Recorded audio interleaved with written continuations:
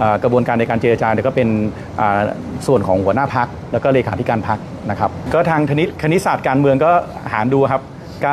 นะครับก็คิดว่าน่าจะหารแล้วได้สี่ก็หารได้ก็ครับสามหกพอดีเลยลงตัวเป๊ะครับก็เป็นคณิตศาสตร์การเมืองครับ ไม่ได้อยู่ที่จำนวนเก้าอี้รัฐมนตรี ถ้าเราอยู่แล้วเราสามารถทำงานให้กับพี่น้องประชาชนได้เป็นประโยชน์กับประเทศชาติได้ เราก็ทำงานเต็มที่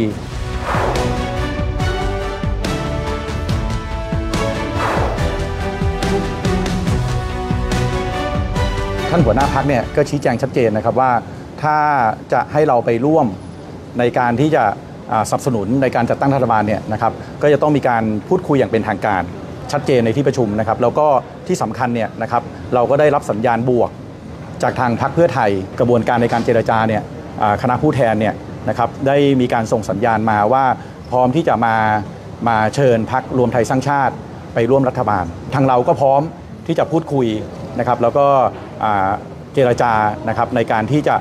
ร่วมรัฐบาลเพื่อให้ประเทศเนี่ยเดินหน้าได้นะครับแล้วก็สร้างความมั่นคงให้กับรัฐบาลที่จะเกิดขึ้นในอนาคต ก็อย่างที่แกนนำพรรคเพื่อไทยได้ได้ชี้แจงครับว่าถ้ามีการหารกันเนี่ยนะครับก็เป็นไปตามคณิตศาสตร์การเมืองนะครับก็คิดว่าสสเก้าท่านแล้วก็หนึ่ง ตำแหน่งรัฐมนตรี อันนี้ก็เป็นคณิตศาสตร์การเมืองที่ทุกท่านก็ทราบอยู่แล้วนะครับว่าในการจัดสรรตำแหน่งรัฐมนตรี แต่ว่าพักยังไม่ได้มีการพูดคุยเรื่องนี้ มีแต่ว่าท่านหัวหน้าพักแล้วก็ท่านเลขาธิการพักได้มีการพูดคุยกับสสในที่ประชุมวันนี้ คิดว่าคือต้องคุยครับอย่างที่เมื่อสักครู่นี้ได้เรียนชี้แจงครับว่าจะต้องมีการเชิญอย่างเป็นทางการนะครับแล้วก็พักเนี่ยนะครับถ้าอย่างที่เรียนครับว่าถ้าไม่มีพักเก้าไกลที่มีเป้าหมายในการแก้ไขมาตรา1นึเนี่ยพักพร้อมที่จะทำงานร่วมกับทุกพักการเมือง อันนี้เป็นจุดยืนของพรรคชัดเจนครับกระบวนการในการเจรจาเนี่ยก็เป็น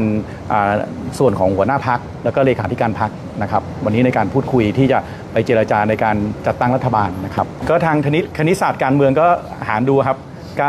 นะครับก็คิดว่าน่าจะหารแล้วได้สี่ก็หารได้ก็ครับ สามหกพอดีเลยลงตัวเป๊ะ ครับ ก็เป็นคณิตศาสตร์การเมืองครับ ก็ท่านก็ลองหารดูนะครับ ก็คิดว่าแต่เรื่องสิ่งเหนือสิ่งอื่นใดนะครับ ก็คือประโยชน์กับชาติบ้านเมืองนะครับ ว่าเราอยู่แล้วเราทำงานให้กับพี่น้องประชาชนได้มากน้อยอย่างไรนะครับ ก็คงไม่ไม่ได้อยู่ที่จำนวนเก้าอี้รัฐมนตรี ถ้าเราอยู่แล้วเราสามารถทำงานให้กับพี่น้องประชาชนได้ เป็นประโยชน์กับประเทศชาติได้ เราก็ทำงานเต็มที่นะครับ อยู่จุดไหนก็ได้ครับ อย่างที่ได้ชี้แจงจะเป็นรัฐบาลหรือเป็นฝ่ายค้าน ตอนนี้พักรวมไทยสร้างชาติพร้อมที่จะทำงานให้พี่น้องประชาชนในทุกบทบาททุกหน้าที่ครับ ตามข้อบังคับพักก็ทางคณะกรรมการบริหารพักจะต้องเป็นคนเคาะบุคคลที่เหมาะสมในการมาดำรงตำแหน่งรัฐมนตรีของพรรครับ อันนี้เป็นอยู่ในข้อบังคับพักของของรวมไทยสร้างชาติอยู่แล้วครับเงื่อนไขที่ที่ 16 นี้ด้วยนะครับว่าทางสารรัฐมนูญเนี่ยจะมีคำตัดสินในเรื่องของยติตามข้อบังคับสภาผู้แทนราษฎรข้อที่ 151อ่าว่าอย่างไร